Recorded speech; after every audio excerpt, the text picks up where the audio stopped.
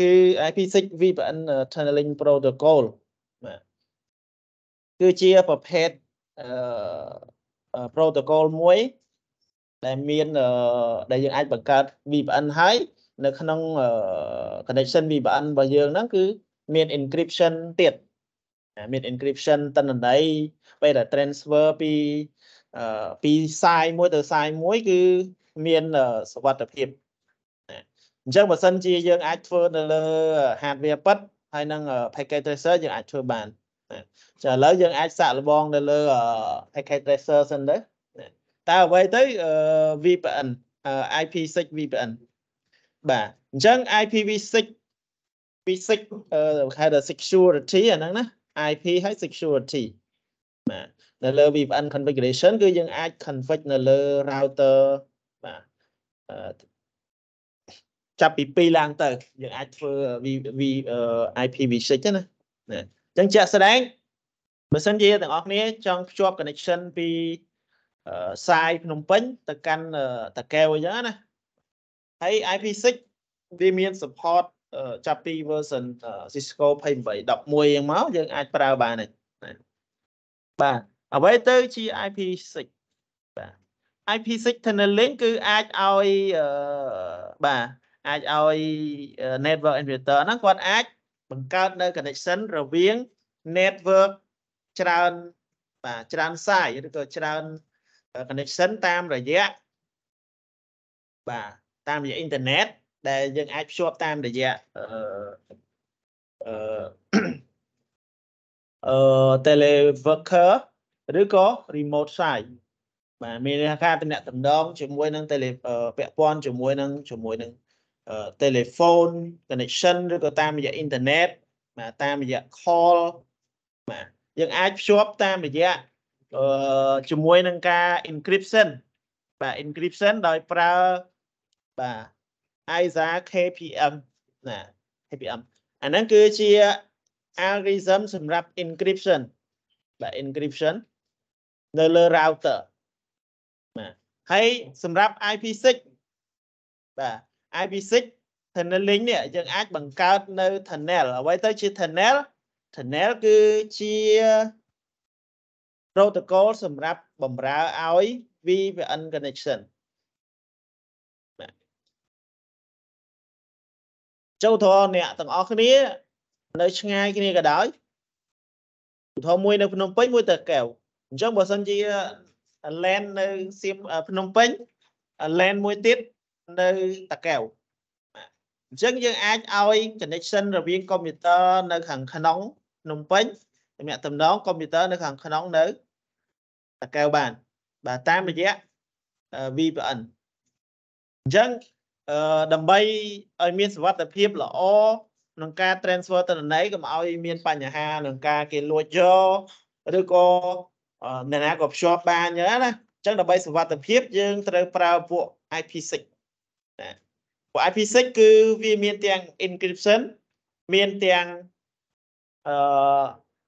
authorization បាទ authorize មានមានទាំង username password ទាំង serial បាទ key មិនមែនចេះតែភ្ជាប់បានទេបើសិនជាពួក tunnel ធម្មតាគាត់តែស្គាល់លេខ tunnel គាត់តែយើងវាយភ្ជាប់ទៅហើយស្គាល់ IP public យើងអាចឲ្យ router នៅលើ public ហ្នឹងកណាក៏ connect បានដែរតែសម្រាប់ IP6 អឺយើងត្រូវមាន username យើងមាន key serial អីទៀតបានភ្ជាប់បានណាព្រោះបាទអញ្ចឹងមួយទៀតគេហៅថា AAH បាទហ្នឹង authorization បាទអាហ្នឹងពាក់ព័ន្ធនឹង username password serial ហ្នឹងទៅ encryption បាទ រាល់ទិន្នន័យដែល transfer ពី router មួយទៅកាន់ router មួយនៅលើអ៊ីនធឺណិតណាគឺត្រូវបាន encrypt អញ្ចឹង encrypt ដើម្បីគេកុំឲ្យមានការលួចកែប្រែឬក៏ជនដែលមិនដែលមិនមានសិទ្ធហ្នឹងគឺអាចទៅកែប្រែបានបាទ unauthorized user ណា គាត់អាចលួចយកទិន្នន័យកដាលផ្លូវឬក៏នៅលើ router អីណាមួយកដាលផ្លូវបានបាទ ISA KVM គឺជា protocol មួយបាទសម្រាប់អឺសម្រាប់ធ្វើអីគេ បាទសម្រាប់បង្កើតនៅ connection រវាងរវាង router នៅខ្សែមួយខាងទៅខ្សែមួយខាងបាទហើយជាប់ជាមួយនឹងអឺ IP6 បាទដែល IP6 គឺភ្ជាប់មែនថាវាជាប្រភេទ protocol មួយដែលយើងប្រើសម្រាប់បង្កើត VPN ហើយមានទាំងនេះមានទាំងអឺ authorization ហើយនឹង encryption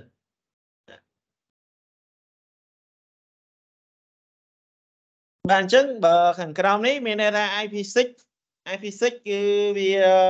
វាមិន support ជាមួយនឹង multicast ឬក៏ broadcast traffic route បាទឬក៏យើងហៅម្យ៉ាងទៀតគឺ dynamic route បាទ dynamic route បាទអញ្ចឹង IP6 យើងអាចបង្កើតនៅ tunnel បាទ tunnel សម្រាប់ IP6 អឺនៅលើ router Cisco ហ្នឹងតាមរយៈទី1គឺ virtual interface virtual tunnel interface ដែលយើងហៅកាត់ថា VTY អឺ VTI បាទ generic routing encapsulation យើងហៅកាត់ថា G RA ហើយនឹងចុងក្រោយគឺ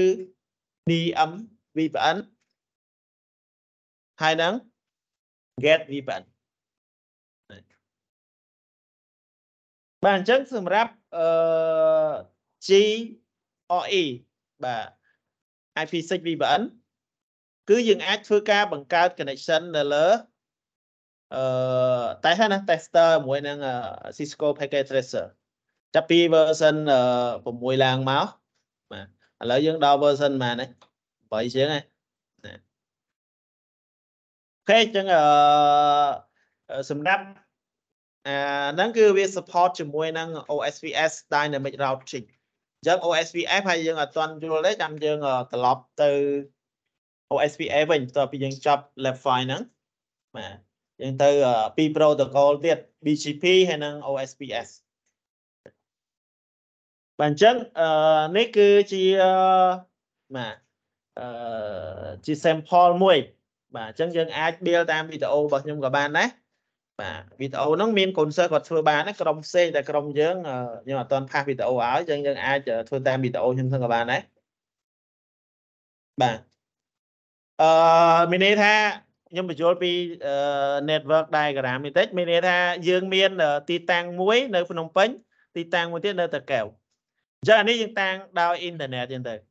ណាយើងតាំងដោយអ៊ីនធឺណិតអញ្ចឹងយើងធ្វើម៉េចយើងបង្កើត tunnel IP6 បាទ build VPN IP6 នៅខាងភ្នំពេញហើយនិង IP6 នៅខាងតាកែវដែលអាចឲ្យវាមាន tunnel connect រវាង tunnel បាទ IP6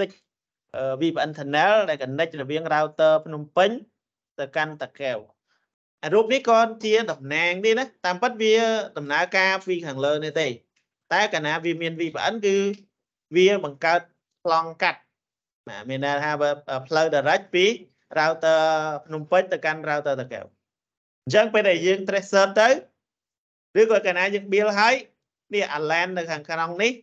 អាចតំណង LAN ហ្នឹងបាន direct ហើយ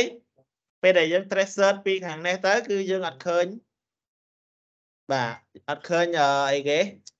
router ឬក៏ gateway របស់ ISP ទេគឺវា direct ពីខាងនេះមកតែម្ដងណាអញ្ចឹងអឺដើម្បី ដំណើរការ VPN ទៅ IP6 បានតើតែយើងនេះនៅលើ router របស់យើងត្រូវ support នេះ security នេះបាទតើតែ yes ណាតើតែមិនមែនជាណាំណាអញ្ចឹងយើងអាចវាយ comment នេះបានថា router របស់យើង support អត់ណាអញ្ចឹងយើងចូលទៅ privilege ហើយយើងវាយ show version អញ្ចឹងបើសិនជាអាកន្លែង security នេះគឺណាំណាំណាំចេះអាហ្នឹងគឺមិន support ទេ អញ្ចឹងបើសិនជាយើងចង់សាកល្បងនៅក្នុង packet tracer យើងគ្រាន់តែវាយ comment នេះមកបាទ comment ហ្នឹងទៅគឺយើងអាចពាក្យ yes ហើយដល់មកយើង save វាហើយយើង reboot កន្លែងនេះយើងត្រូវបិទ save មួយទៀតណាយើងអត់តន់ reboot ផងពេលយើង save ទៅវាមិនបាត់អស់ហើយបាទអញ្ចឹងយើងត្រូវ save សិន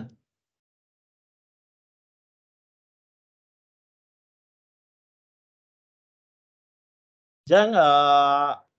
right នេះបាទអញ្ចឹងកាលណាយើង right គឺយើង save ហើយ save បានយើងអាច reboot បាននេះយ៉ាត់អត់ស្គាល់ comment reboot លើ router បាទអញ្ចឹងនេះក្រោយពីយើងនេះហើយយើងដាក់ license ឲ្យវាហើយ update license ឲ្យវាយើងអាច show version លើក្រោយវាចេញបែបនេះណាចេញបែបនេះយើងអាចដំណើរការ config អឺ VPN បាន បាទអញ្ចឹងនៅក្នុងវីដេអូរបស់ខ្ញុំ គឺមានបង្ហាញហើយយើងអាចសាកល្បងមើលធ្វើសាកតាមវីដេអូនោះសិនទៅណាបាទអញ្ចឹងនៅក្នុងនេះគឺខ្ញុំបានធ្វើជាជា comment តិច file មួយហើយនឹងនេះមួយណាអញ្ចឹងអឺខុសតែ network ខុស diagram តិចណា បាទខុសតែ IP ឯងបាទអញ្ចឹងអឺអញ្ចឹងនៅក្នុង left file នេះគឺយើងទី1នៅលើ router 1ហើយនិង router 3បាទមិញនៅណាមិញនេះនេះ router 1ហើយនិង3 router ទី3បាទអញ្ចឹង router 1 2 3បាទអញ្ចឹងយើងអាចធ្វើតាមនឹងមកនេះ router ទី1ទី2យើងត្រូវនេះសិនបាទយើងត្រូវអា នេះយើងផ្លេច save មួយនេះ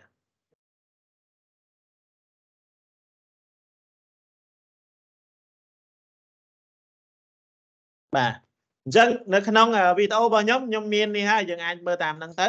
ហើយឬក៏ comment ហ្នឹង copy ទៅបាទអញ្ចឹង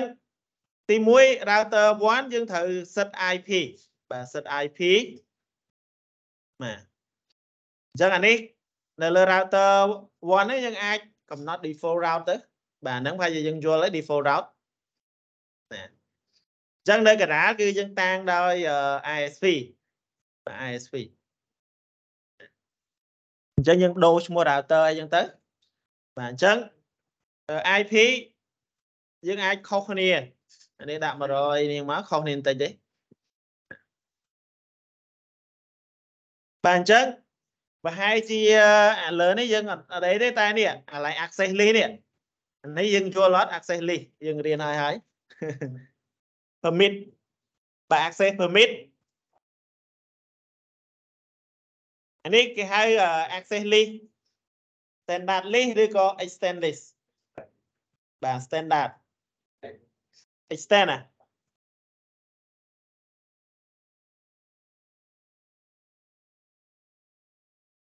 standard ពីម៉ានទៅម៉ានបាទបាទត្រឹមត្រូវ1ដល់99 1ដល់ម៉ាន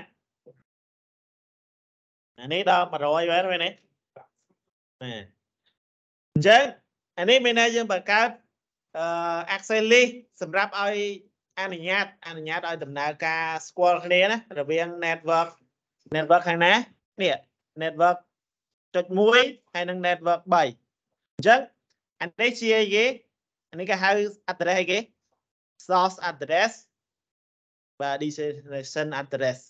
លើ router ទី3បាទបាទបញ្ច្រាស់មកវិញបាទអញ្ចឹងអានេះគឺជា policy ដែលយើងបង្កើត សម្រាប់បំរើឲ្យ IPsec encryption ណាណាយើងប្រើ comment មួយថា crypto បាទ ISA KPM policy របស់យើងគឺយើងប្រើលេខឈ្មោះលេខ10ណាអញ្ចឹងអានេះយើងអាចប្រើជាលេខបាទជាលេខលេខហ្នឹងយើងមិនបាច់ដាក់ខុសពីលេខ10ក៏បាន តែសំខាន់ពេលដែលយើងយកទៅប្រើនៅខាងក្រោមទៀត apply policy thì យើងត្រូវយកលេខហ្នឹងមកប្រើ អញ្ចឹងហើយសម្រាប់ encryption នេះ algorithm យើងប្រើ AES បាទហើយអឺប្រហែល256 bit ហើយយើងប្រើអូសរាយគឺតាមរយៈ share key បាទ pre share key បាទ group file យ៉ាងមកអានេះតាមពិត exist ទេ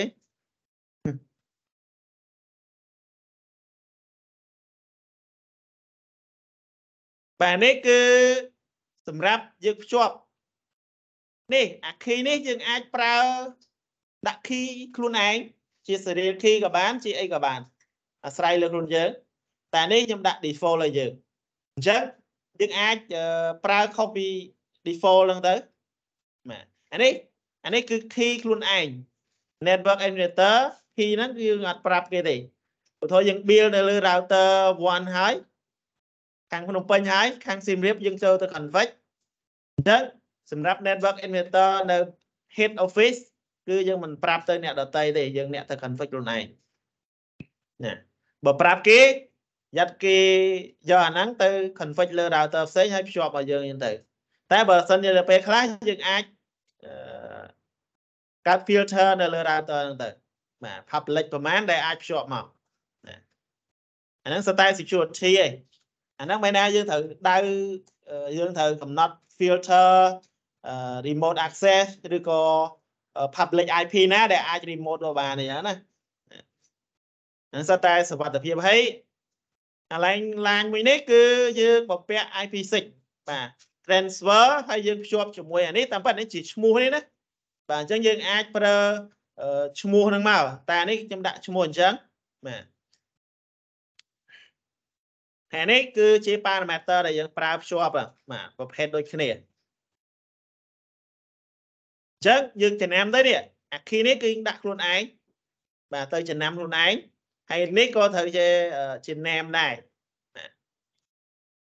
បាទលេខនៅ router ទី3អញ្ចឹងសម្រាប់ key ពេលដែលយើងភ្ជាប់មកអានេះមានន័យថាអានេះនៅនៅ IP នៅខាងណានេះអា នេះបើយើងឈរលើ router ទី3នេះ IP កន្លែងនេះតែបើយើងឈរលើ router ទីទី1 IP កន្លែងនេះអញ្ចឹងមានន័យថាអានេះគឺជា public IP អានេះជា public IP អញ្ចឹងកន្លែងនេះ គឺយើងបញ្ជាក់ public IP កន្លែងនេះក៏ចឹងដែរគឺ public IP public IP នៅលើ router ទីទីម៉ានទី3អានេះ public router ទី1នេះជាឈ្មោះទេយើងអាចដាក់អីដាក់ទៅបាទ key key នេះនេះកន្លែងយើង build ឡើងនេះបើសិនជាយើងដាក់ key ខុសអានេះហើយនឹងអានេះខុសគ្នាបាទឬក៏អានេះយើងដាក់ថ្មីហើយយើងដាក់អាហ្នឹងមកអាហ្នឹងគឺបានហើយតែជឿទៅយើងដាក់ key ដូចគ្នាមក serial key ណាអត់ស្គាល់គ្នាវាមិនអាច connect គ្នាបាននេះអូសារ៉ាយនេះ នេះអូសារ៉ាយនេះអាហ្នឹងប្រៀបដូច username password អញ្ចឹងតែយើងអត់មាន username ទេយើងប្រើ key serial key បាទអឺគ្រប់អាស្រ័យលើខ្លួនយើងយើងអ្នក build ទៅបាទទីទៅយើងដាក់សម្រាប់ប្រើតែមកសាយយើងដាក់សាយខុសគ្នាវាមិននេះបាទ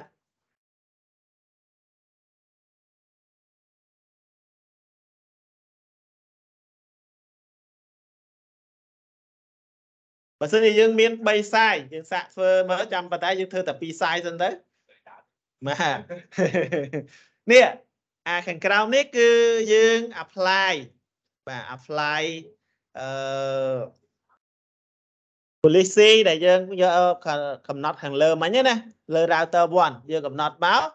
ហើយយើងកំណត់ map វាជាមួយនឹងមកហើយនេះ policy 10ដែលយើងបង្កើតមិញហ្នឹងខាងលើហ្នឹងហើយ here បាទ ទី1យើងបង្កើតខាងលើហើយបន្ទាប់មកបានយើង build វាតាមពិតយើងអាចវាយអានេះឲ្យចប់ក៏បាននេះ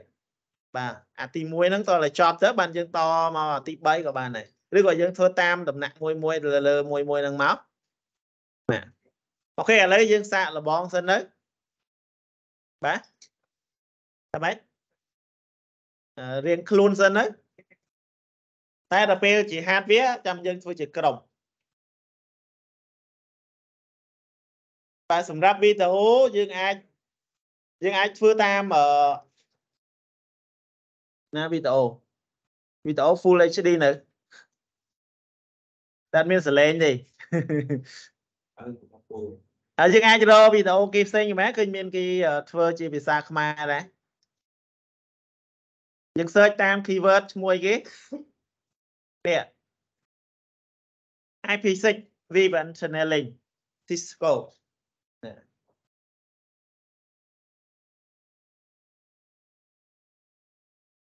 អឺសម្រាប់វីដេអូរបស់ខ្ញុំ គឺមានដែរប៉ុន្តែគ្រាន់តែវាអឺអត់ទាន់ full HD ទេ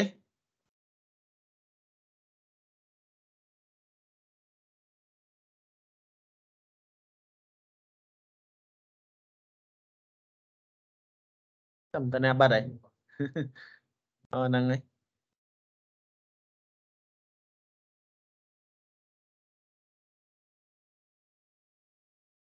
យើងជួយបានមានហើយយើងទៅមិនដែរ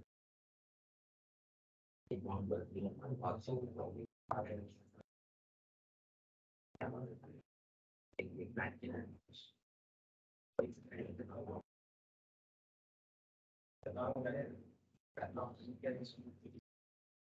trong cái đó nó mới nó lại có cái sống tâm linh này tất nhiên là ឥឡូវយើងធ្វើទាំងអស់គ្នាមកយើងអាចធ្វើមួយមួយមក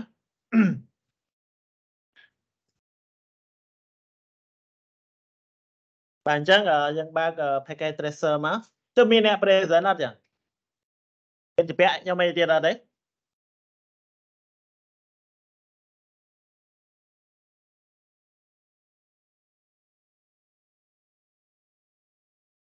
បាទយើង save មួយមកអញ្ចឹងធ្វើមួយមួយ đấy ខ្ញុំខ្ញុំធ្វើជាលក្ខណៈជាយឺតហើយតែបើសិនជាយើងអាចមើលវីដេអូយើងអាចធ្វើបានហើយ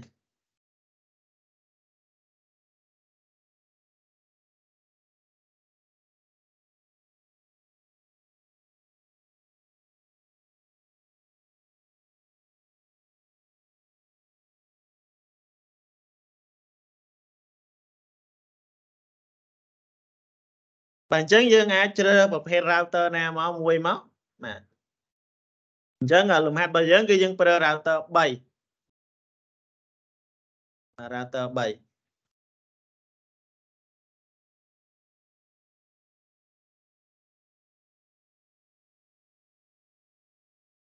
ចូ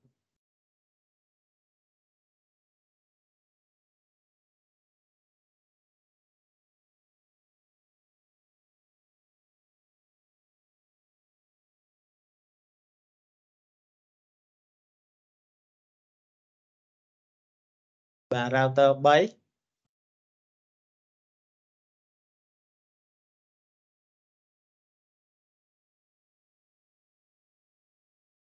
ចឹង router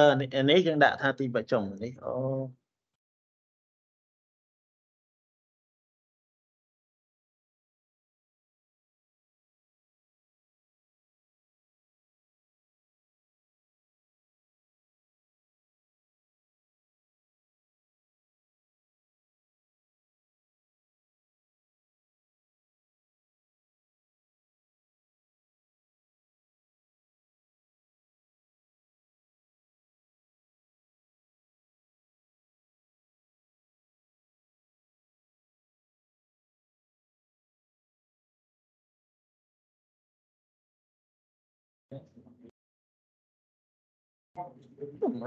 ទៅជា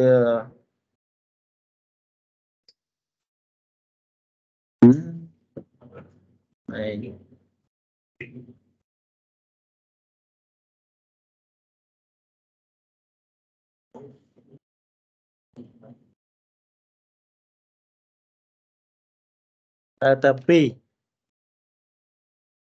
data 2 data 1ចឹងយើងភ្ជាប់អញ្ចឹងយើងប្រើខ្សែគេអញ្ចឹងអឺ0 0អានេះពីនេះមកនេះយើងប្រើ0 1អញ្ចឹងយើងមើលនេះអឺ diagram នេះនេះ diagram របស់ខ្ញុំអញ្ចឹងនេះ interface របស់យើងគឺ G0 មក1អានេះមកនេះមកអញ្ចឹងបើសិនជាយើង design ដូចរបស់ខ្ញុំអាហ្នឹងយើងអាច copy paste comment មកយើងអាចដំណើរការបានហើយអញ្ចឹង design ដូចនេះមកអញ្ចឹងបើនេះយើងប្រើតែ laptop មួយក៏បានឬក៏យើងចង់ដាក់ switch ទៀតដាក់ switch មក switch 1 2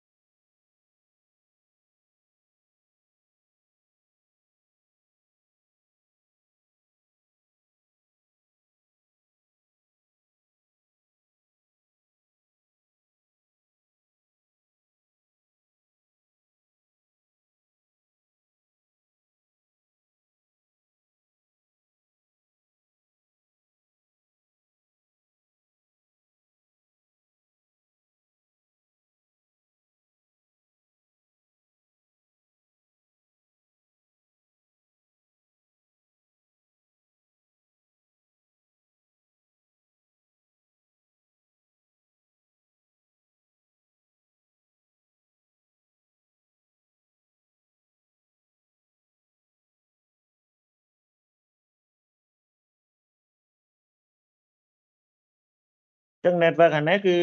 192 168.1.0បាទស្លាំ84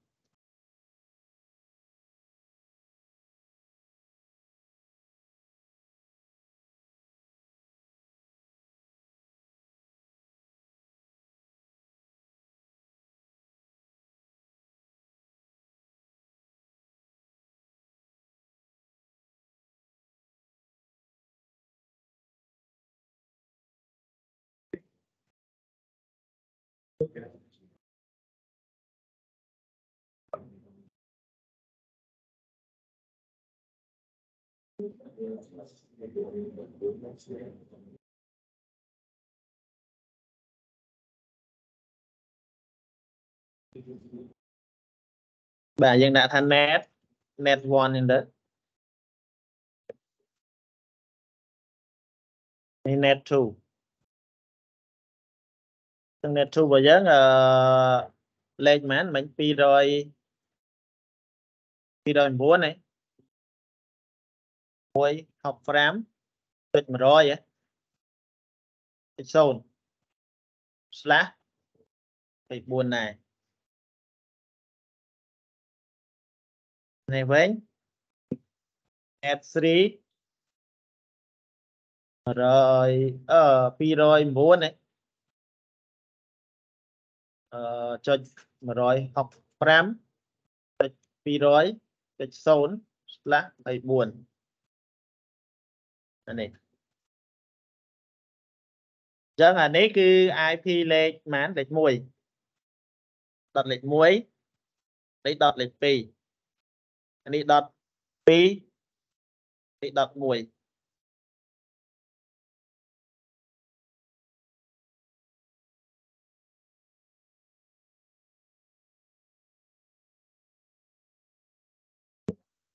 ចឹងអានេះដាក់នៅខាងលើចេះវិញមក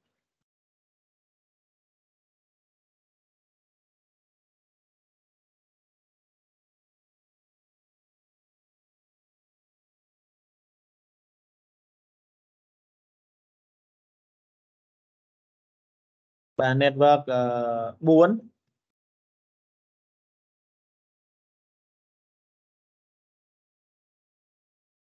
បាទចុច3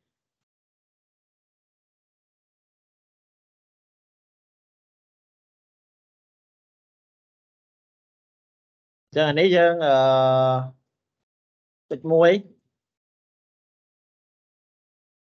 ឺចុច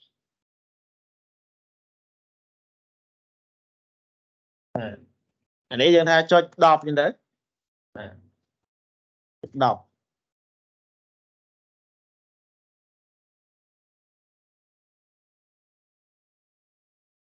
នេះមើលយល់អត់បងណា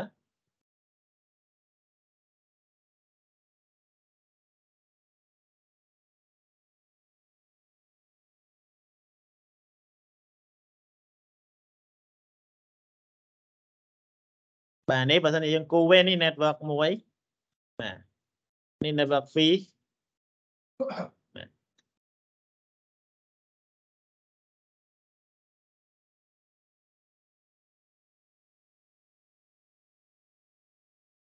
នេះ network មួយទៀតគាត់ណាឲ្យយើងត្រជាក់ភ្នែកតិច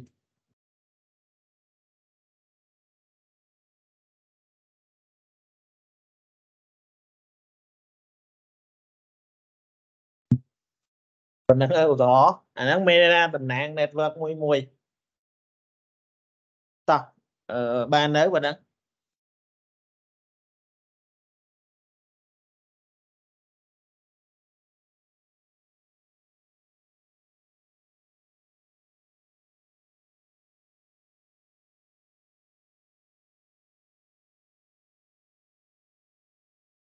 ដល់ design ឲ្យបានប្រហែ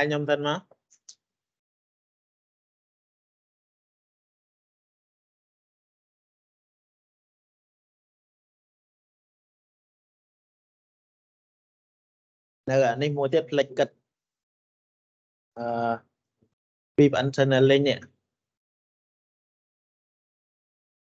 នេះ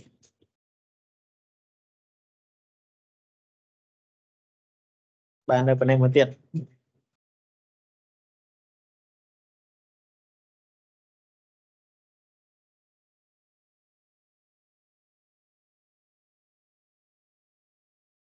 IP 6 IP 6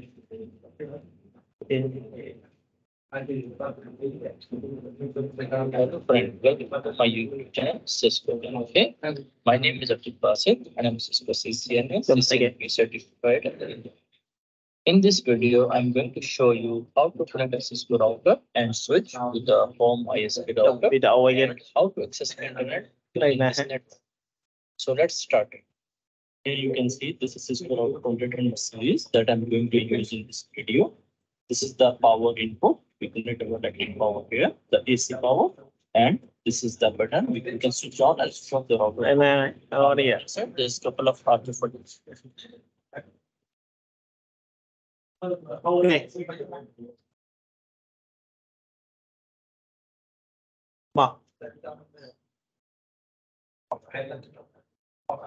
design và hai nhân dân mắt bắt đầu dương mơ bị video thân nó có ban đấy. Tại em chui thưa đấy.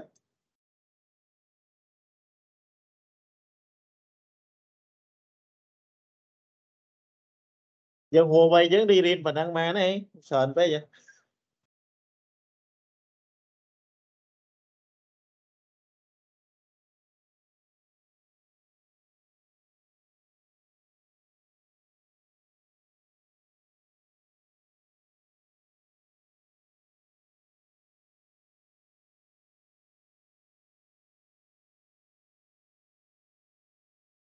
谢谢这些这些人，哎，他们就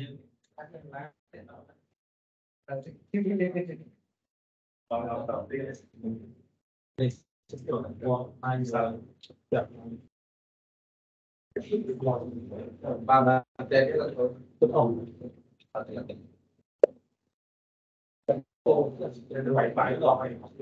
来来来，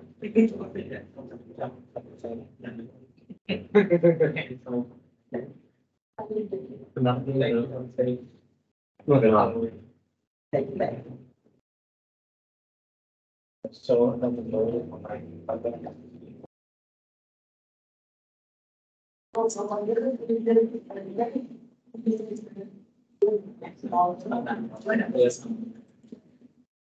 អូនេះមក design ប្រហែល ខ្ញុំសិនមកបើដល់យើងមើលវីដេអូសិនទៅក៏បានដែរតែខ្ញុំជួយធ្វើទៅយើង Huawei យើងរីរៀនប៉ុណ្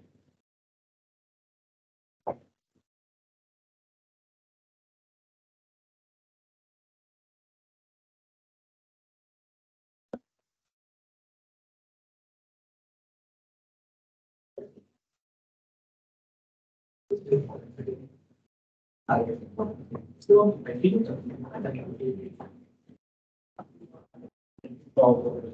ពេកហ៎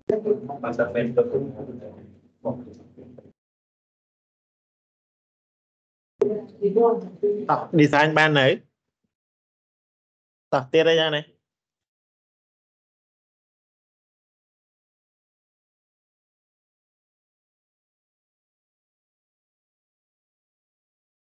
ហើយទាំងអស់គ្នានៅយូរមែនអ្នកដែលមិននេះយើងអាចមើលវីដេអូធ្វើតាមវីដេអូឬក៏តាមតិច comment ដែរអ្នកដែលយល់ច្រើនហើយបាទ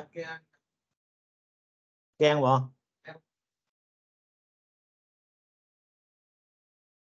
អឺទៅវិធីស្អីគេមើលដើម្បីមិននៅក្នុងនឹងមានដែរ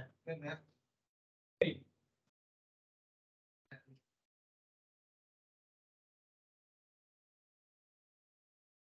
ឺខ្ញុំភ្លេច copy ដាក់ក្នុងនេះទៅ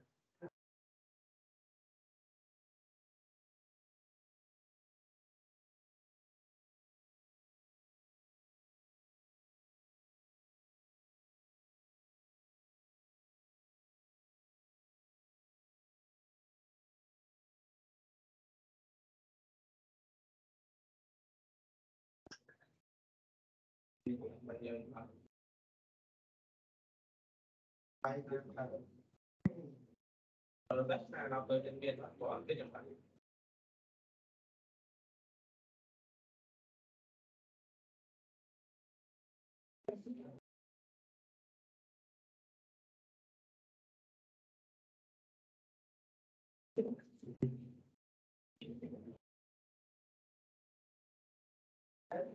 ាន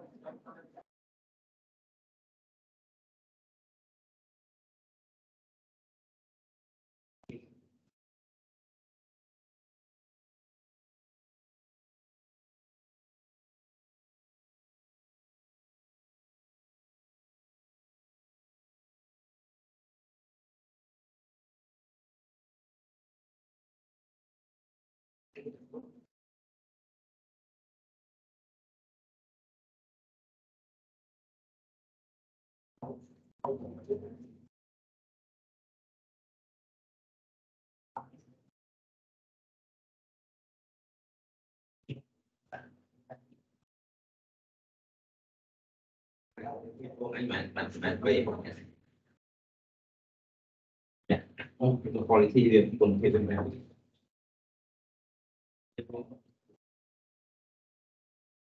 បានបើជា ពីលើបីប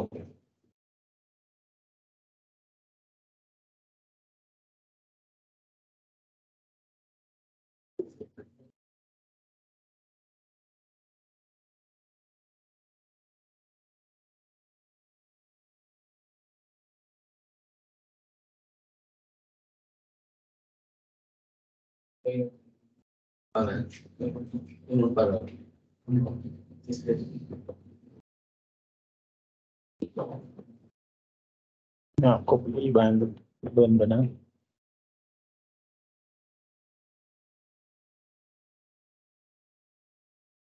Đó.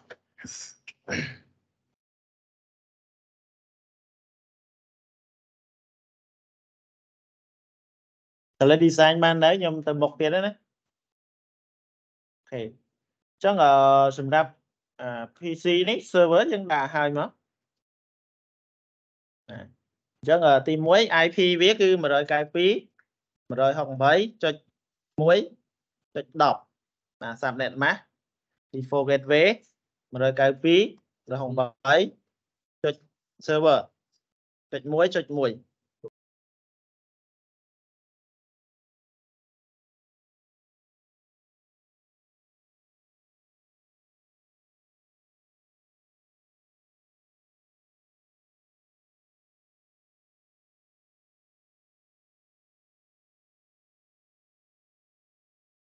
តែអត់តន់ចេះអាសាញ IP អាហ្នឹងទៀតនេះ desktop ណានេះនេះមួយនេះដែរអានេះយើងដាក់ឲ្យដែរមក PC អញ្ចឹងអឺ192.168.3.10 subnet mask ID default gateway 192.168.3.1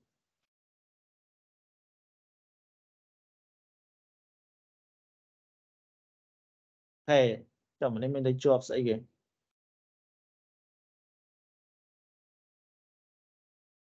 អមកវានេះអា đây.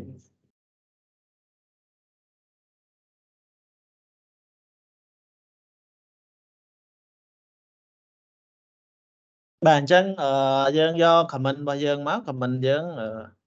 នៅណាមើលអឺ នេះ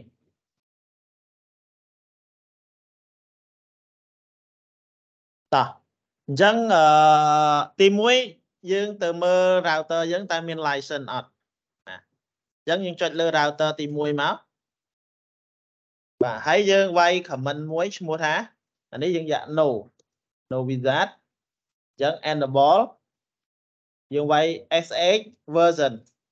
បាទ version យើងមកចឹង sh version so version ណាណាបាទអញ្ចឹងយើងមើលនេះ align security នេះគឺអត់ទាន់មានទេនេះ comment អឺណាមិញតណាបិទឯងនេះនេះ so version បាទ so version មកបាទ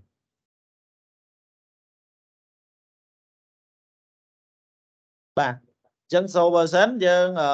មកមើលនេះអាកន្លែង security តើមាននេះអត់បើណានទាំងអស់មែនទេ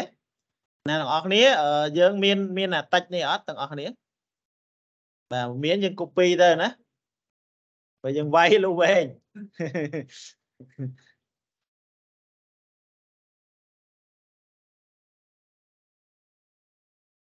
បាទ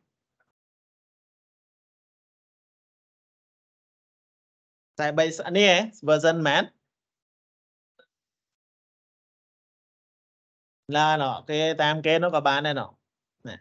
តែនេះវាយើងប្រើ version នេះគឺវាអត់ទាន់មានទេនេះអឺនៅក្នុងណាមួយនេះហ៎បាទនេះ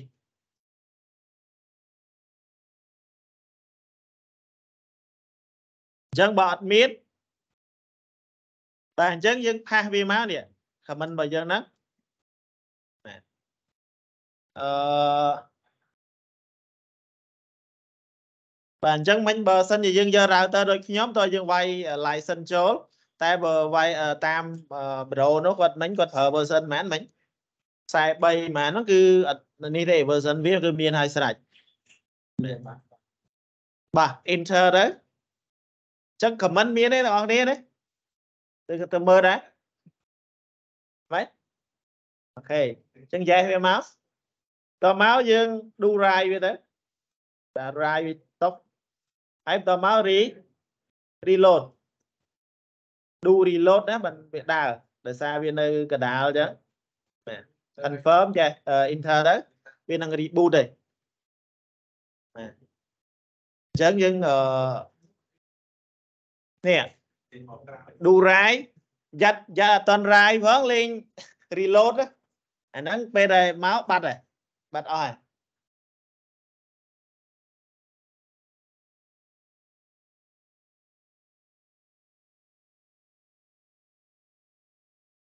តោះអឺប៉ុណ្ណេះបានហើយណា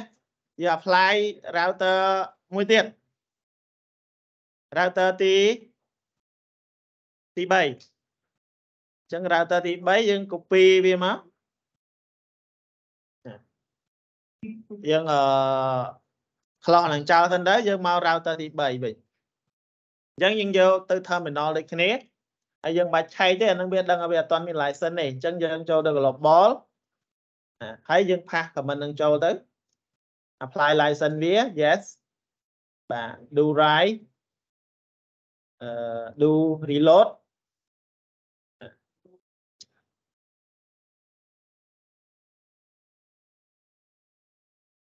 តោះតើអត់មើលអឺបាច់ទេតែដំបូងគឺអត់មានអត់មកអើនោះមិញគេប្រើ version នេះគេមិញមានបាទនេះអា version មួយនេះនេះអា model នេះច្រឡំ version ប្រើ10 10 19ខ្ញុំប្រើ19 41 còn là ហើយរបស់យើងប្រើអីគេទាំងអស់គ្នា đàn តាមខ្សែ3 31 បាទ tự nhiên nè អូខេគេអ្នកមានគេប្រើអាធំហ្នឹងហើយ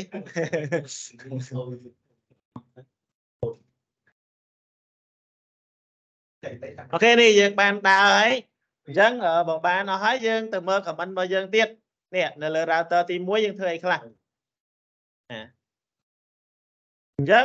អានេះយើងដឹងហើយអានេះមានន័យថាយើង assign IP អឺ IP ទៅឲ្យអីគេ ទៅឲ្យផ្នែកខាងណាយើងខ្លុំមកនេះនេះមានន័យយើង assign IP ឲ្យទៅ G0/1 ខាងនេះនេះយើងបញ្យល់ណានេះមើលនេះ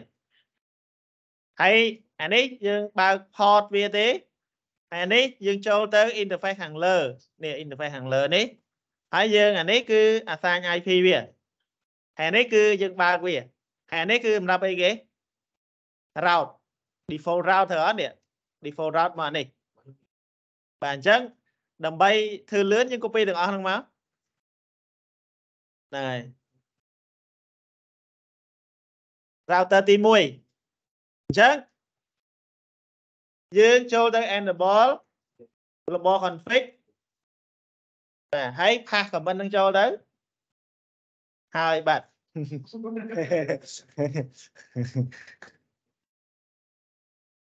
នេះ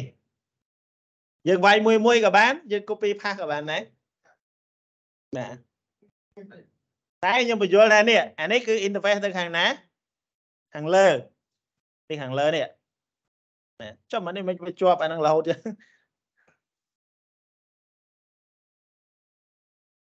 ជាប់ស្អីវាអូមកជាប់អាហ្នឹងចាអាជាប់ មិនជាប់អាហ្នឹងរហូតចឹងអត់យល់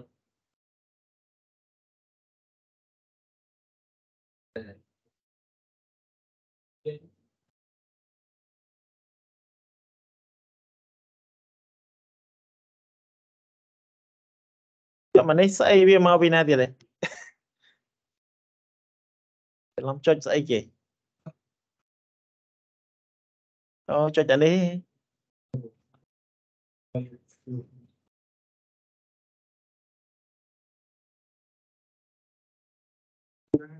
អីវាមកពីណាទៀតទេច្រឡំចុចស្អីគេអូចុចអានេះហេជាប់អាឆាមនេះឆាមស្អីគេ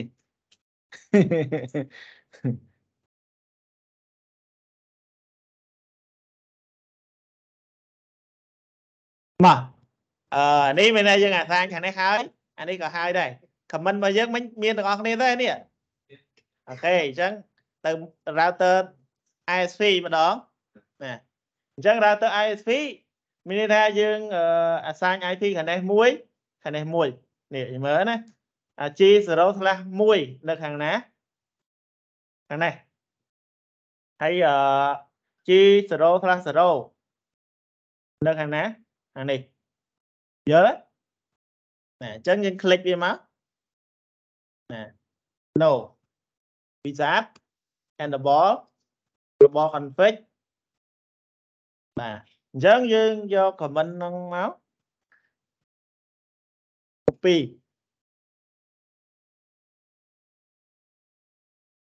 ហាស់ចូលចឹងបាច់យល់ទេតែមិនមែនយល់ទេមានន័យថាអានេះនេះយើងមានន័យថាម៉េចអានេះចូលទៅ interface អានេះបានយើង assign IP អានេះយើងបើក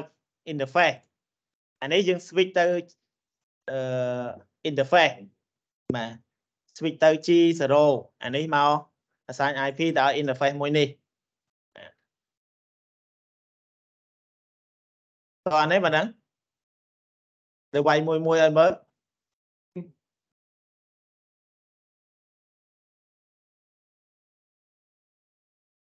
តែមុននឹងធ្វើហ្នឹងមើលផងយ៉ាត់ខ្លួនឯងអានេះ មិនមែន design តាមខ្ញុំហ្នឹងអាហ្នឹងយកទៅផាសអាហ្នឹង error ហើយនេះ T0 0អូបើសិនជាយើងរើស version ដូចខ្ញុំផាសបាន តែបើសិនជារើស version ផ្សេងគ្នាខ្លាចលោលេខវាខុសគ្នាណាមើលឡើងវិញមិនចេះតែផាសទេ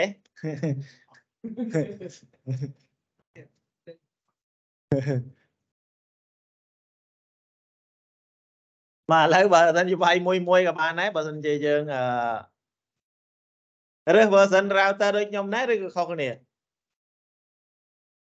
ខុសគ្នាហាដូចខ្ញុំអត់បានទេ ទៅវាយតាមមួយមួយទៅ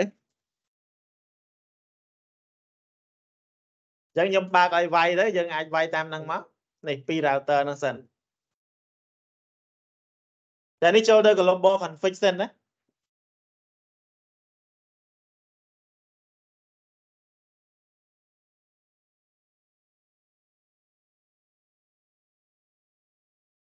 វាយហ៎ Rồi là phải một vị này. ទៅស្លាដល់3ហ្នឹងណាអាហើយអូតែដូ Rồi cho ra cái này. អេតែញ៉ៃ đây là ដូនេះ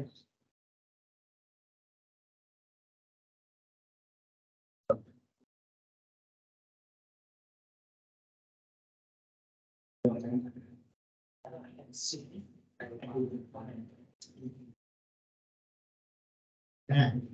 đập do đi ra hát ạ.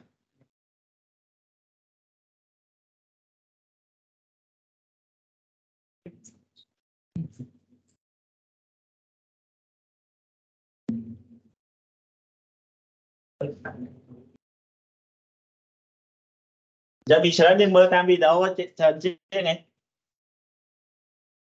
dạ, chẳng nhung chờ chị này. Dạ chẳng nhung bạn tên này giờ nhung từ lừa đấy nè.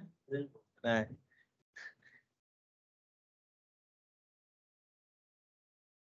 Và nếu dân từ router thì bấy.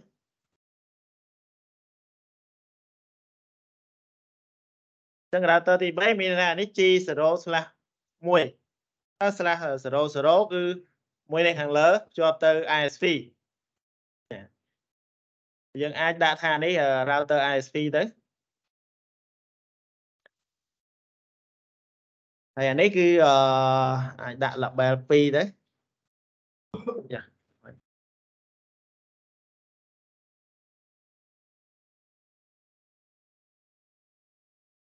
Parameter ទី3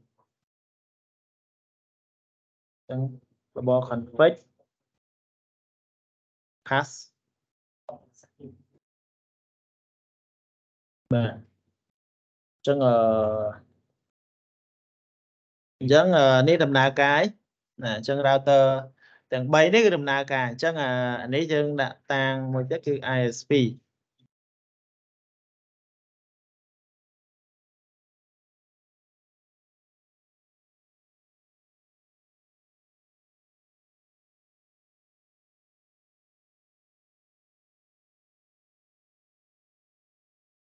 ISP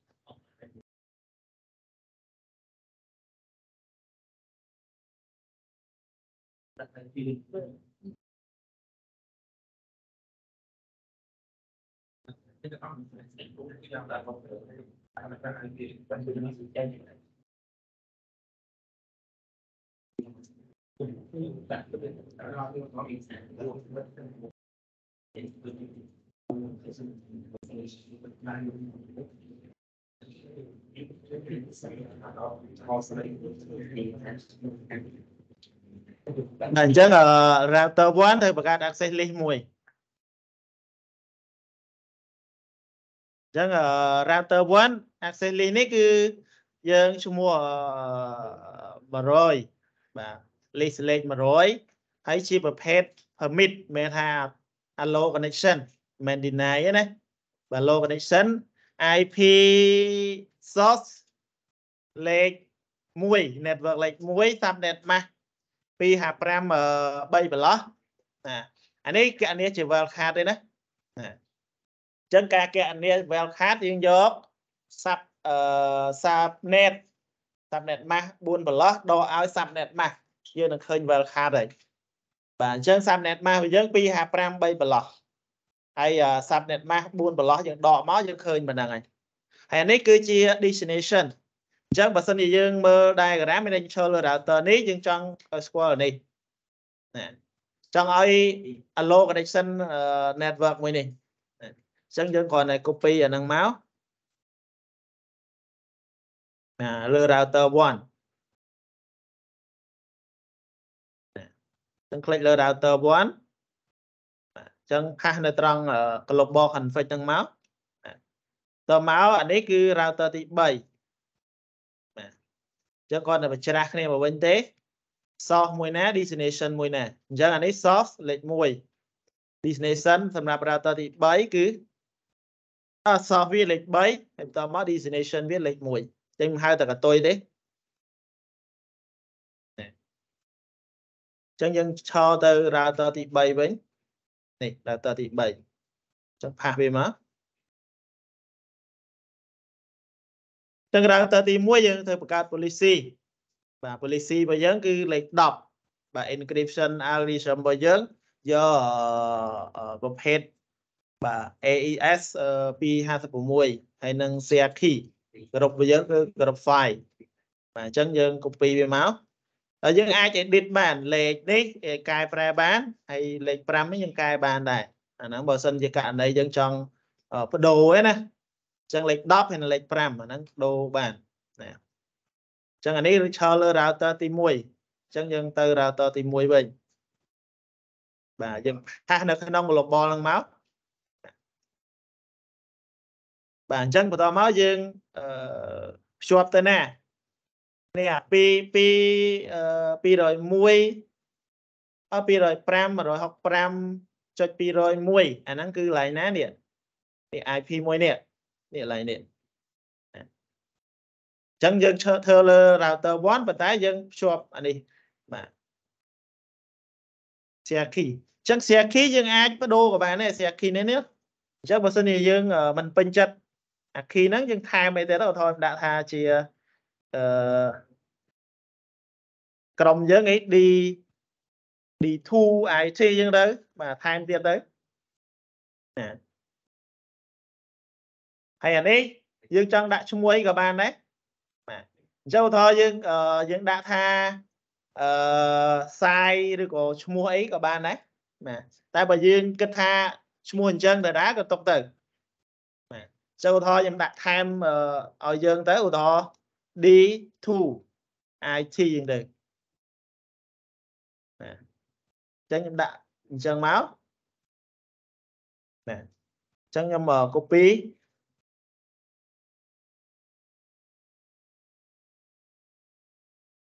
បាទផាសមក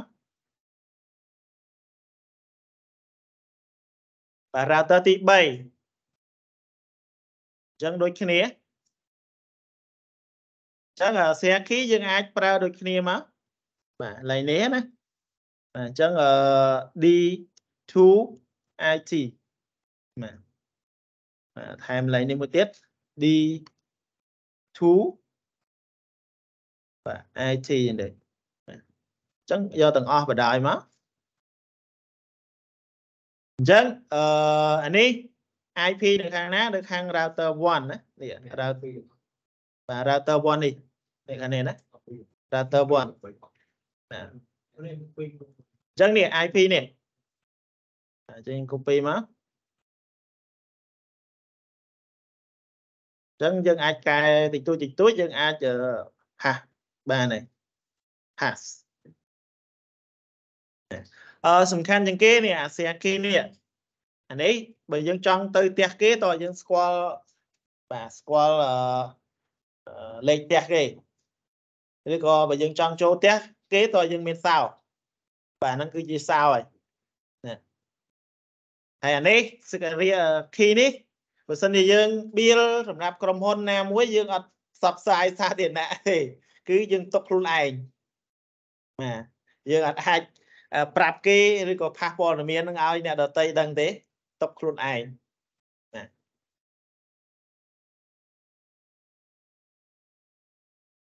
បាទនេះ router 1អញ្ចឹងយើងបង្កើតភាដូចគ្នាដែរបាទបាទ transform យើងយើងត្រូវដាក់ដូចគ្នាមកនេះអាពេលយើងបង្កើតមិញនេះឈ្មោះអីគេបាទហ្នឹងដាក់តាមហ្នឹងមកអាហ្នឹងនៅខាងលើនេះនេះ D2IT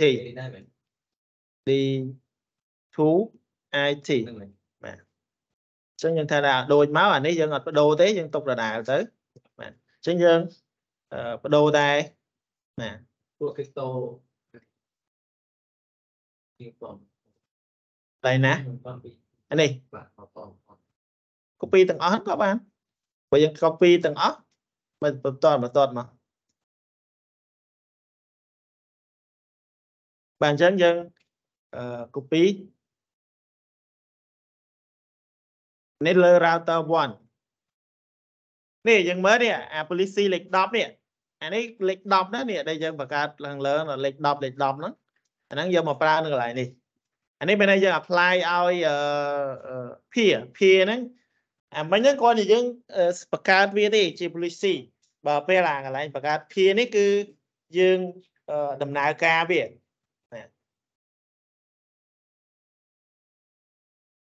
ហើយបើយើងខ្ជិលយើងអាចយកនេះមកណាយើងអាចមិនដូរទេ copy paste ទៅតែអានេះខ្ញុំចង់ឲ្យយើងយល់ទេថាកន្លែងហ្នឹងយើងអាចបដូរបានណានេះកន្លែងនេះ D2 នេះណាអញ្ចឹងកន្លែងហ្នឹងហើយហ្នឹងអាខាងលើនៃយើងបង្កើតមិញហ្នឹងទៅវាដូចគ្នាយ៉ាត់ខុសគ្នានេះណាតែខុសគ្នាវាអត់ដើរទេបាទ router ទី3អញ្ចឹងយើងដាក់ឈ្មោះមិញដូចគ្នាដែរយើងថែម D2 បាទ D2 IT ណាអញ្ចឹង P នេះ IP នេះគឺយើងដូចនឹងអាយើងបង្កើតមិញនៅខាងលើដែរ IP អានេះខាង router ទី1បាទ public IP public របស់ router 1បាទ copy មកបាទអញ្ចឹងយើងឈរលើ router ទី3វិញណា មិញដូចផ្លេចដូចផាសកន្លែងនេះមួយបាទអញ្ចឹងយើងចូលលើ router ទី3ផាសវា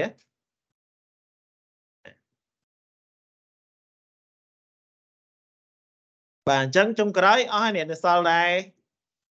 បាទអឺ set map ទៅឲ្យ interface ទៅ router 1ហើយនិង router ទី3បាទ មានន័យថា set ឲ្យអឺនេះឲ្យវាដំណើរការ VPN interface out G0/0 ហើយនិង G0/0 អញ្ចឹងនៅខាងក្រោម3នេះបាទអញ្ចឹងយើង copy វាមកនឹង router 1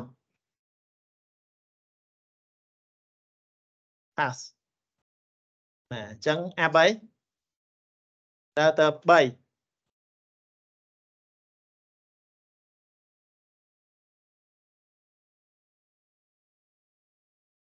ហាស់វាមកបាទអញ្ចឹងបញ្យល់ឡើងវិញនេះ IP6 map នៅកន្លែងណាមិញយើងបង្កើតនៅកន្លែងនេះយើងបង្កើតមិញនេះនេះបាទហ្នឹងយើងបង្កើតហើយដល់ពេលយើងយកមកប្រើសម្រាប់ set ឲ្យទៅកាន់ interface នេះ interface G0 មែនថាហ្នឹងជា public របស់ router ទី3អានេះជា interface ភ្ជាប់ទៅ public របស់ router ទី1បាទយើងតែប៉ុណ្្នឹងមក យើងចង់មើលថាតើ VPN យើងដំណើរការអត់អញ្ចឹងយើងយើង copy comment so បាទ so អឺបាទ so VPN តើដំណើរការអត់បើដំណើរការវាចេញបែបនេះណាបាទចេញ active អញ្ចឹងយើង copy comment so ហ្នឹងមកបាទ so ហើយយើងទៅ router ទី3យើង end មកតែអញ្ចឹងយើងអាចផាសចូលហើយយើង enter បាទអញ្ចឹងយើងមើលកន្លែងនេះគឺវាអត់ទាន់មាន app ទេណា នៅឡើយទេ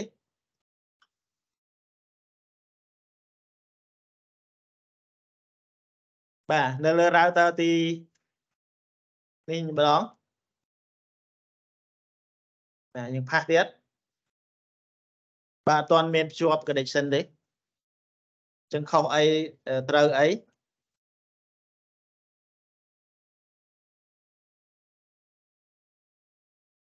ផាផាផាអត់លែងដើរ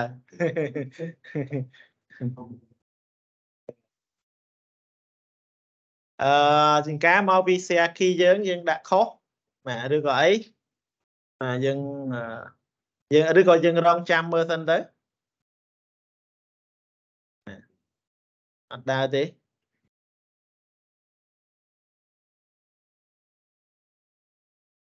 មិញយើងកែនៅកន្លែងណាខ្លះមិញ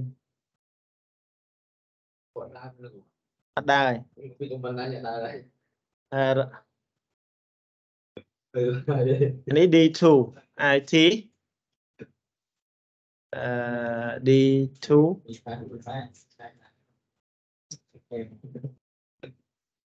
តែវីដេអូរបស់បានបងទៅបាទ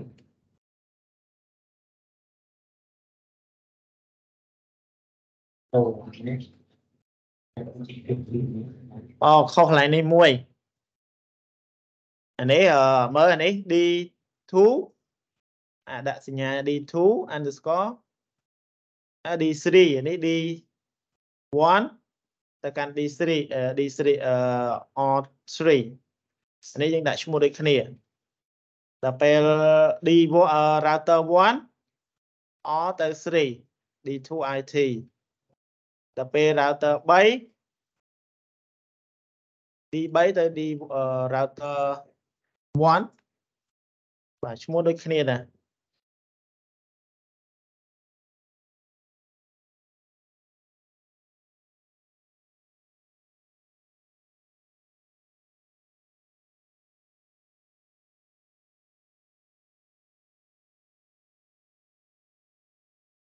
បាទឥឡូវយើងអឺសាកល្បងបោះ message អីពីនេះមកនេះមកស្គាល់អត់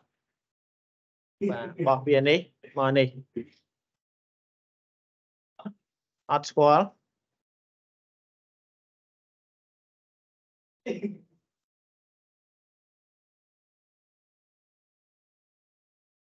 ពី0ពី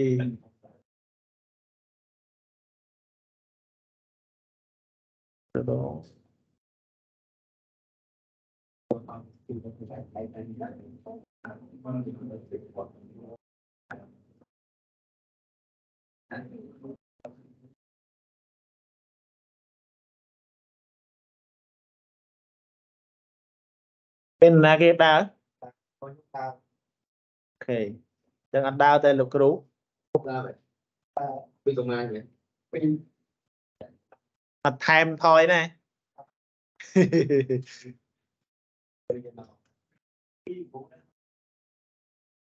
អឺ reboot router អីសិនណា reboot វាសិនណា នេះសំខាន់ពេលដែលសូយើងវាយនេះវាយ comment នេះមកវាចេញបែបនេះគឺ active គឺមានន័យថាវាដំណើរការហើយបាទបើដំណើរការយើងអាចយើងអាចនេះយើងតេស្តទាំងសងខាង router 1 router 3អញ្ចឹងចុងក្រោយយើង ping ចូលទៅ PC ហើយយើងតេស្តសាកល្បង ping ទៅហើយចុងក្រោយយើងតេស្ត tracer ទៅបាទ tracer មើលទៅបើសិនជាវាចេញបែបនេះគឺត្រឹមត្រូវហើយណាអញ្ចឹងមានថាវាអត់បង្ហាញ route នៅលើអា router ទី3នេះទេអា gateway ទី3នេះវាអត់បង្ហាញទេបាទបាទអញ្ចឹងខ្ញុំចូលទៅភាសាទៀតមក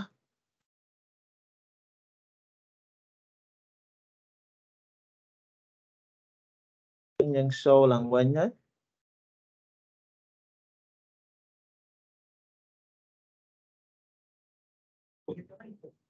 អត់ចេញ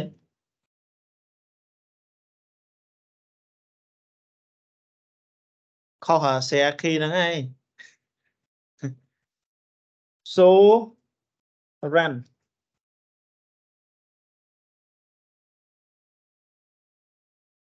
nè xe khi.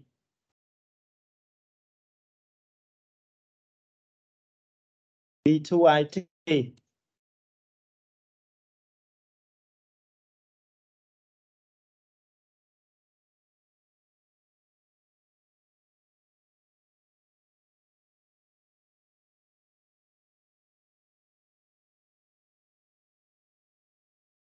và IP6 map.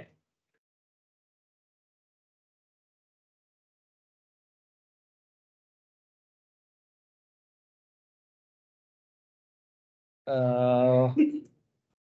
muối. Can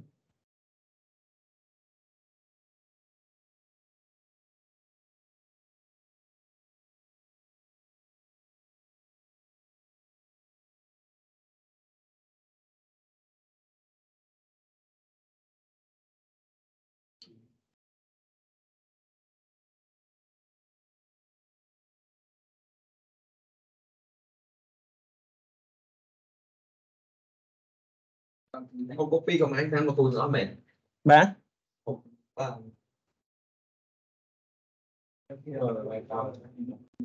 con hai nè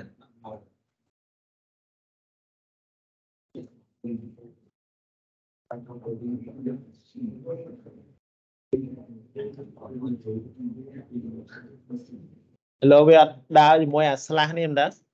ឥឡូវបើអឺយើងយើងអាចដូរឡើងវិញ ឡូវខ្ញុំមើលបន្តទៀតបើអត់ទេត្រូវដូរ key វាឡើងវិញឥឡូវវាអត់ support អាអាស្អីគេ slash ហ่ะអត់ដើរទាំងអស់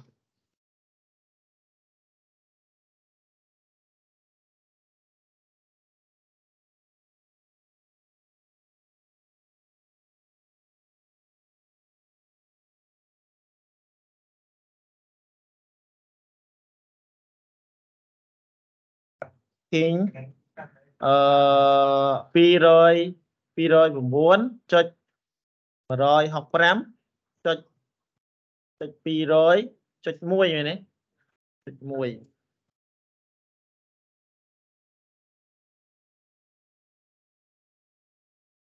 បាទស្គាល់ទេតា PC1 ទៅអានោះ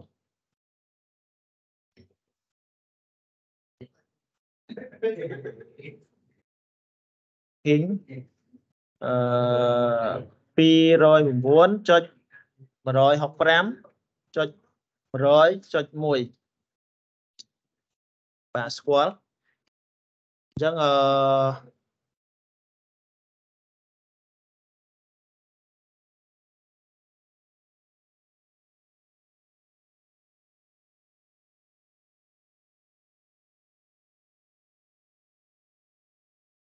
ចឹងបញ្ហាជាមួយអីគេ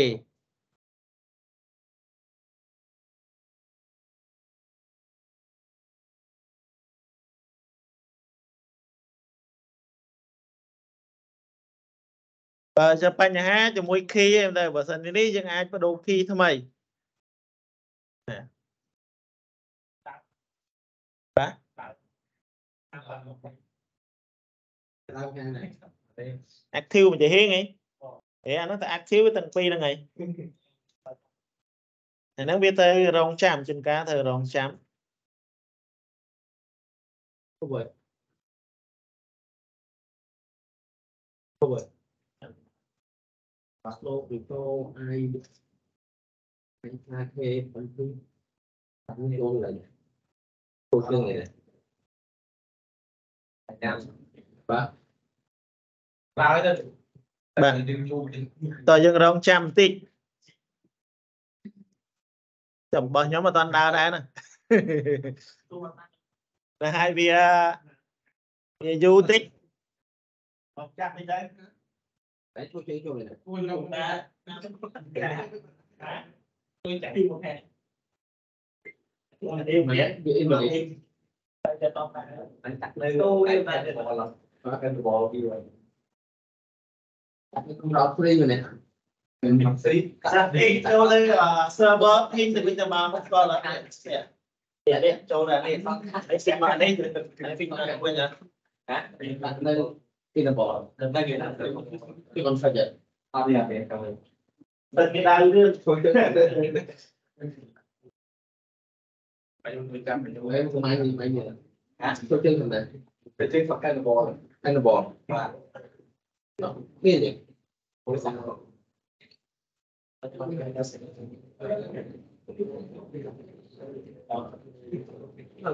English nè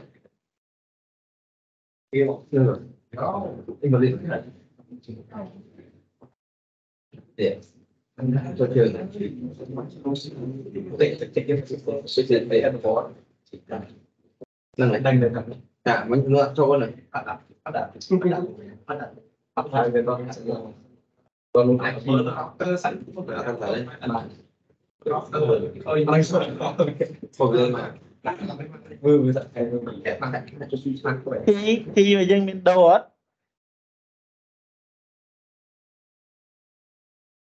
ដើរនៅ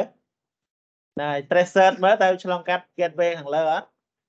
បើអត់បើឃើញ gateway ខាងលើអាហ្នឹងខុសអី tracer មើល នេះ tracer មានយើង tracer មកនេះនេះនេះ tracer tracer ទៅបើថយយើងឈរលើ network 1យើង tracer ទៅអា3ទៅតែបើយើងឈរលើអឺ network 3យើងទៅ1វិញអញ្ចឹងវាកាត់តែនេះកាត់តែ2 2 gateway គឺត្រូវហើយអាកដាលហ្នឹងវាអត់បង្ហាញទេ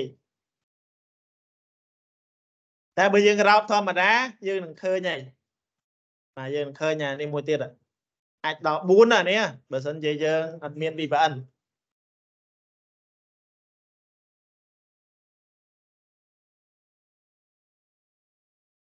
ចឹងខ្ញុំតាក់ម្ដងទៀតគូចេញចាក់មានបាទអត់តាន់មានទេអឺចាំតិចសិនណាចង្ការវាវាកំពុងនៅ key យើងមានដូរអត់ហ្នឹងហើយចឹងអា key secret ហ្នឹងហ្មងហើយពីមកគ្រូហ្នឹងហើយ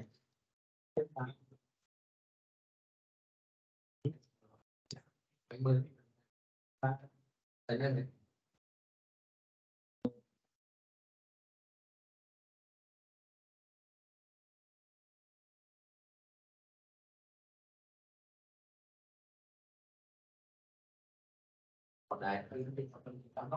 គ្រូអត់ដើរដែរណាតែបើគ្រូដូរដូរ key ដូរអីណា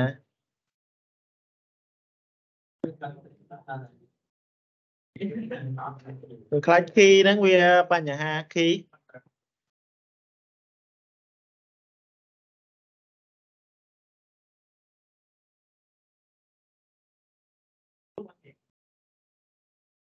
ចឹងទុកចោលទៅណាចឹង cũng khi cái này khi mai về មើល tracer តិចមើលដាក់វីដេអូ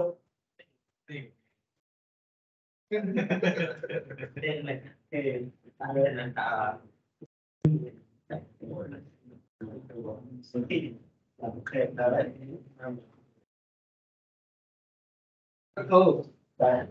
à mắt à cái này bạn phải làm rồi mới bạn đến được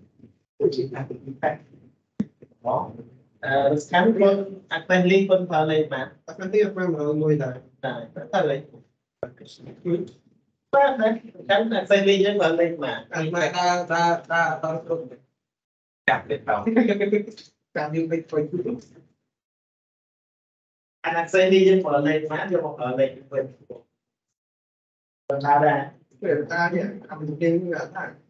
làm được cái là ta bạch phim nó ở đây phim mà cái thứ phim hai cho nhập vào tăng hai mươi nghìn មើលសាកចូលទៅនេះវិញមើលឥឡូវវា refresh តិចមើលនេះចូលទៅ king នេះមើលបាទឥឡូវចូលទៅ ping មើលបើថាមិនស្គាល់មិនស្គាល់ទេអឺអឺ192អានេះយើងចូល PC ទេចុច1.10ណា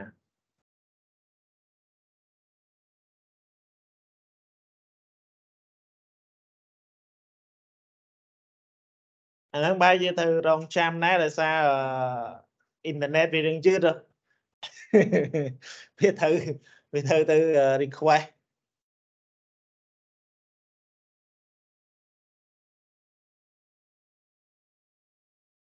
បើ gateway លេខ1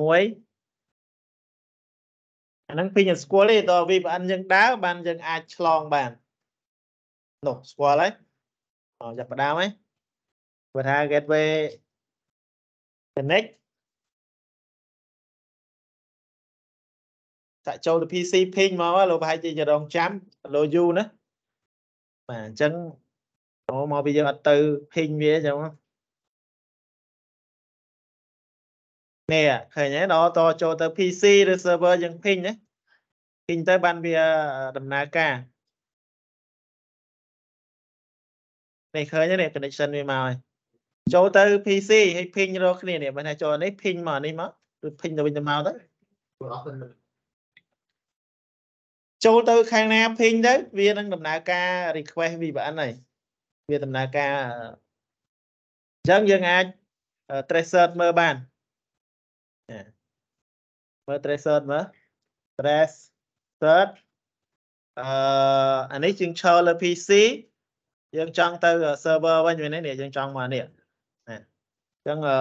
192 168ចុច1ចុច10តបពីអូអញ្ចឹងរកឃើញហើយអញ្ចឹងអង្គុយចាំអង្គុយងាប់ហើយណាតើយើងទៅធីងបានអា router ហ្នឹងវាដំណើរការនេះប៉ណ្ណឹងបានហើយបាទ អានេះមានន័យថាវាអត់ឆ្លងកាត់ ISP ទេយើងអត់ឃើញ router ISP ឃើញអត់បាទអញ្ចឹងយើងឃើញតែអឺ IP gateway នៅខាងផ្សាយភ្នំពេញអើផ្សាយនៅអឺដាក់ឈ្មោះគេមិញផ្សាយនៅខាង router 1ហើយនឹងផ្សាយនៅខាង router ទីទី3អឺជាទូទៅយើងអត់ដាក់អញ្ចឹងទេណាយើងដាក់ឈ្មោះហ្មងឧទាហរណ៍នេះផ្សាយគេភ្នំពេញទីកដាល រងចាំធីងហើយរងចាំមិនតិចទៅខ្ញុំពេញដំបងក៏អត់ស្គាល់ដែរណាទីអស្គាល់ណាអើអត់មើលខ្ញុំធ្វើមិញ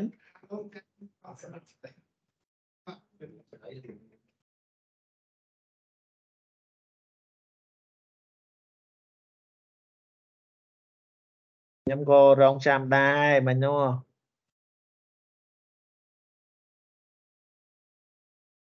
ចំ បើផ្សាយភ្នំពេញផ្សាយនៅអឺហើយចង់នៅប្រទេសណាចង់នៅខាងណាឥឡូវអា TK ណា